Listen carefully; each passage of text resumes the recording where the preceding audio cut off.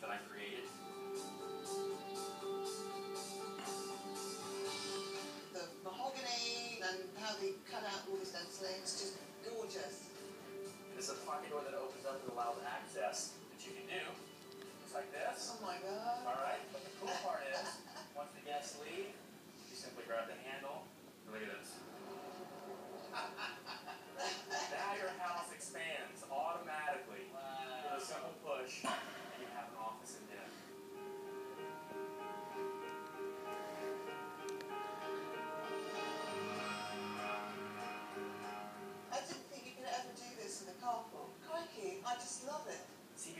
This is the entrance to the carport, I bricked up the front of the house, painted it to match, and added a new triple window uh, just to allow you a great view.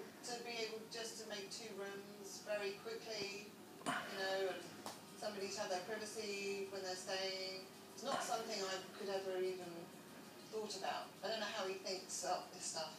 Wow. I love the colour too, everything. What? So let me show you this part. There's what I do. Ready? Check this out. When it's just you guys and your family's not here, I envision this table to be more like a desk. Uh-huh. But the cool part is this doubles as a bed table when you do this. I didn't know you could get a remote control bed. Isn't that clever? Yeah. It's like James Bond. This is a style of Murphy bed that doesn't fold down. It actually accordions up into the wall. Uh, uh, and it's not taking up any extra space.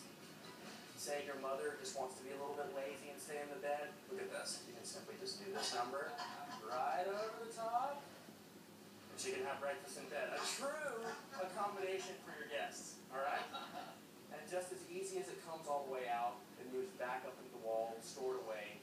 You have an office, uh, right? Uh, it's fine. It's not too bad. So grandma comes. Grandma's coming Friday.